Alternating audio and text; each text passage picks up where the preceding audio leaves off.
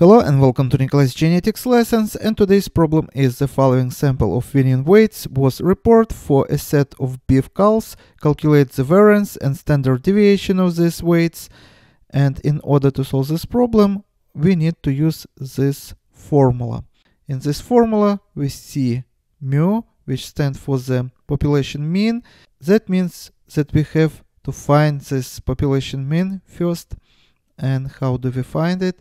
We just have to add winning weight of 12 calves and divide by number of animals. So divide by 12 so let's do it. So mu would equal to first animal weighs 515 pounds plus second animal weighs 430 pounds. Third animal weighs 475 pounds. Next one 565 pounds and so on. In order to save a time and space, just imagine that we have to add all these weights of all the animals and divide by number of animals and number of animals is 12 and we are going to get that uh, mean of the population is going to be 506.25 pounds now I'm going to slightly modify this formula. So we are going to find variance. So variance is going to be sigma squared. Variance would equal to sum of the square difference between dataset minus mean of the population. For example, first animal weighs 515 pounds minus mean of the population which we have found 506 pounds so 506 pounds point 25 and squared plus second animal weighs 430 pounds so plus 430 pounds minus mean of the population 506.25 also squared and we have to repeat this many times with every number in this dataset.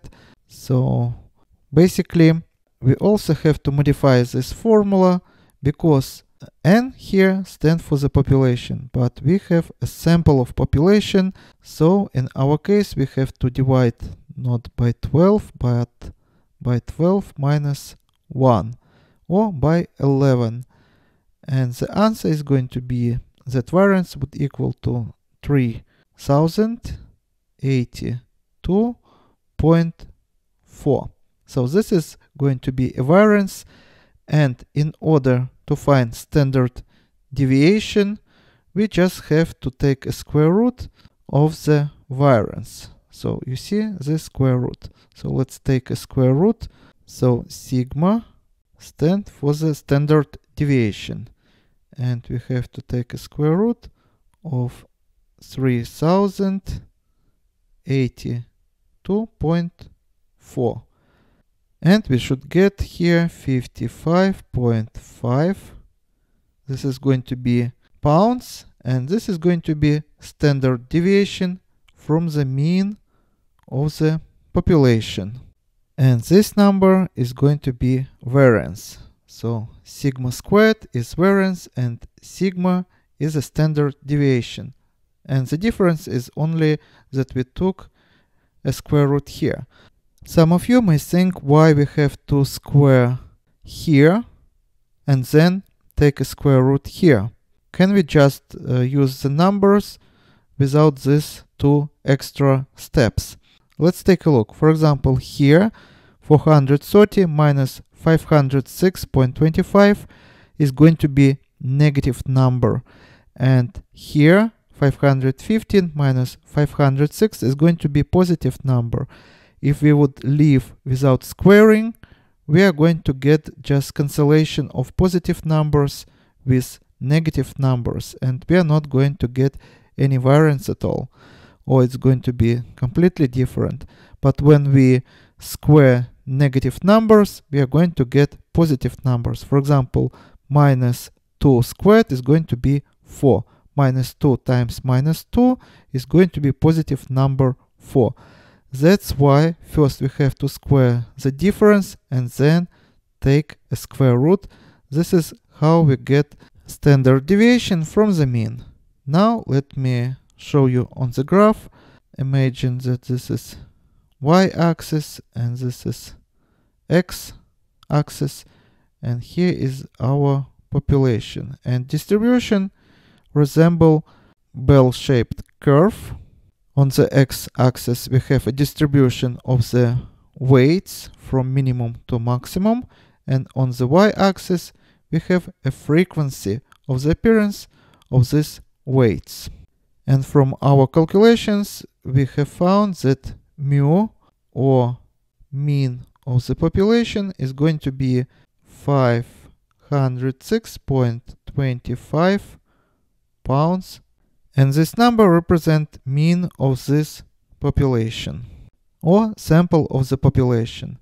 Now when we have also standard deviation from the mean we can plot it on this graph so 55.5 goes to the right and to the left so 55.5 plus 55.5 would give us 111 pounds. This is what we call one standard deviation from the mean and here we can find 68% of all variability within a population. We also can take another standard deviation from the mean. So this time it's going to be 2 standard deviation from the mean. And this time this range would include 95% of the variation in this population. And we also can take 3 standard deviation from the mean and 3 standard deviation roughly would give us 99.8% of all variation in this population. Variance and standard deviation from the mean we use in statistics and plant and animal breeding and selection is based on statistical analysis so we have many applications for this formula which I would show you later in my following videos and this is all for today. Thank you for your attention. Please subscribe for my new videos that I post almost every day. And see you in the next video. Goodbye.